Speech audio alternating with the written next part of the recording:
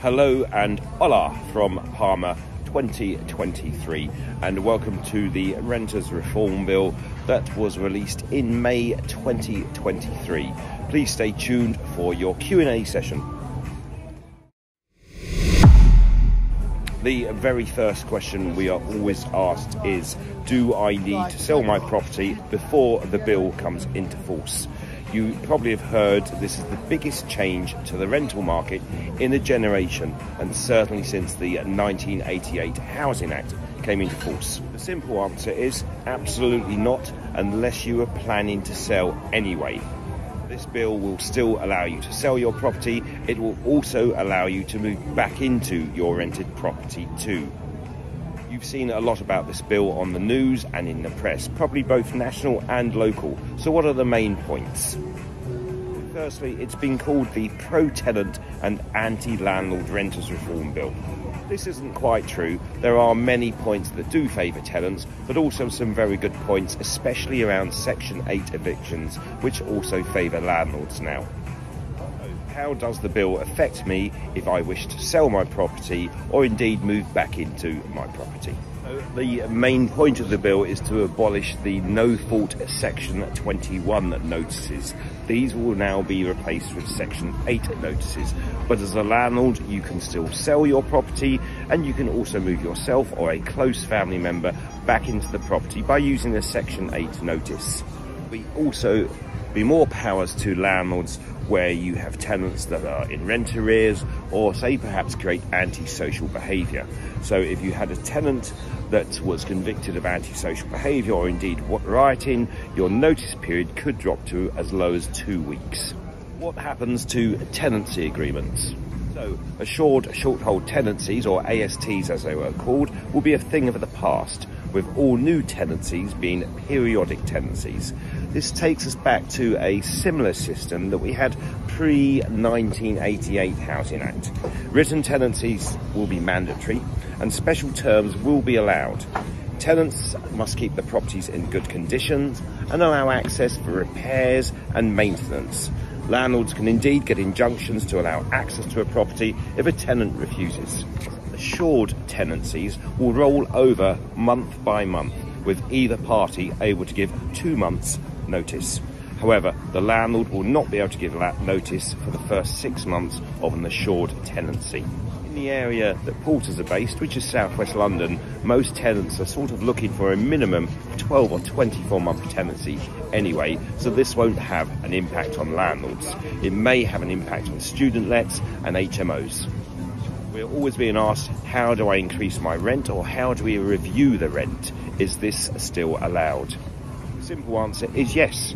Rent increases and reviews will be allowed, but only once per year, and you will need to give the tenant two months' notice, rather than one as we had done in the past. Rent review clauses in contracts will no longer be allowed, and we will issue a rent review by Section 13 notice. Tenants have to accept this unless they appeal to the first tier tribunal for an unfair rent increase. So at present, all agents have to be members of an ombudsman scheme. This will be expanded so that all landlords also have to be members of an ombudsman scheme. There'll be a new digital, it's called a property portal, but let's call it a property database where all properties that are rented must have a registration as part of this database. So, as well as the properties being members of the database, all landlords must also be members of a nationwide database as well.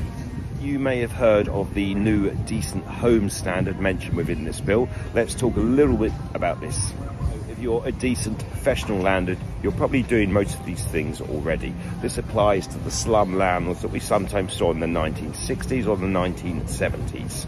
So as well as the gas safety checks, the electrical safety checks and the ECPs that we've probably already spoken about, uh, you already probably have for your properties. We'll also be carrying out fire risk assessments for each rented property and also a Legionella risk assessment to make sure your rental property is safe for the tenants to live in.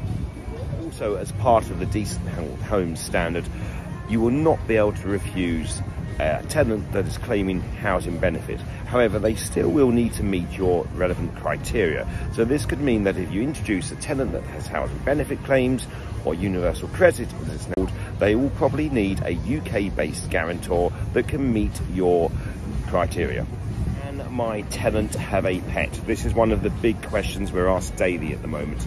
So tenants will be given the legal right to request a pet in their home, which the landlord must answer within 42 days. If you live in a block of flats and your head lease states that no pets are allowed, this will be a reasonable exception. Also, if the landlord or a family member has a pet allergy, and this also relates to the pet that has been requested, this would also seem to be reasonable. If a tenant lived, let's say in an eighth floor of a large block of flats and wanted the Saint Bernard dog, I think this is unreasonable too. So we will be applying the RSPCA guidelines to these requests too, just to make sure pets and animals do not suffer in inappropriate properties. How will this be implemented? So there will be two stages. All new tenancies, once the bill comes into force, will become periodic automatically, governed by the new set of rules. All existing tenancies will transition to periodic tenancies on the second implementation date.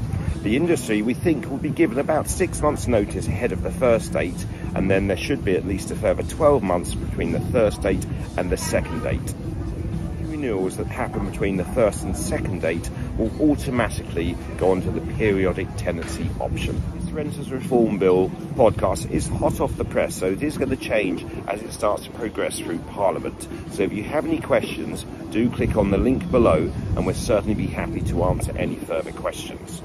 Once the bill comes into force, don't fall foul of this bill. The first fine is £5,000. The second fine is £25,000 for any breach of these bills once it comes into force. Of course, keep you updated as this Renters Reform Bill progresses through Parliament. In the meantime, don't worry, certainly don't panic.